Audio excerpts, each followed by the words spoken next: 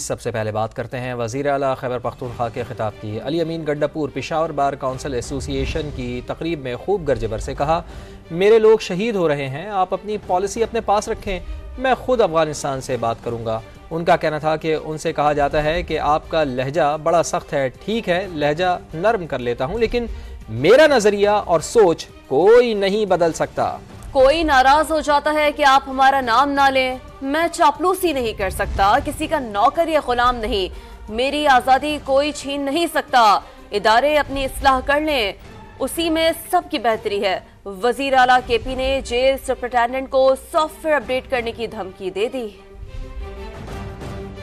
ये कहते हैं कि आपका लहजा बड़ा सख्त है। मैं लहजा नरम कर जावेद हुक्मरान के खिलाफ आवाज़ बुलंद करनी है। इसको जिहाद कहा गया है। अगर ये बात मैं करूँ तो कोई मुझे कहे कि तुम लोगों को उकसा रहे हो, कोई नाराज़ हो जाता है कि आप हमारा नाम ना लें। मैं झूठ बोलूँ आपको? मैं चपलूसी करूँ आपकी? मैं ना बताऊँ कि आपके अमल से, आपके इकदाम से नफरत फैल रही है? मैं आपका गुलाम नहीं हूँ।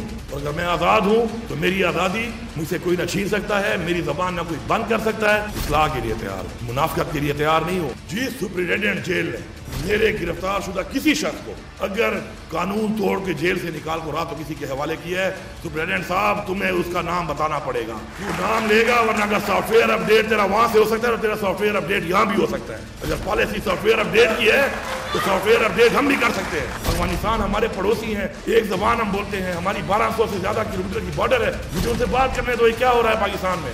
परवाह ही नहीं है। मैं कब तक बर्दाश्त करूँगा अब मैं ऐलान करता हूँ यहाँ पर। आपकी अपनी पॉलिसी है तो अपनी पॉलिसी अपने घर में रखो। मेरे लोग मर रहे हैं। मैं खुद अफ़गानिस्तान से बात करूँगा। मैं बता रहा हूँ कि मैं हैसियत सुबह वफद भेज के मुलाकात करूँगा। उनके साथ बैठ के बात करूँगा। तो बात करके इंशाल्लाह मसला मैं हल करूँगा।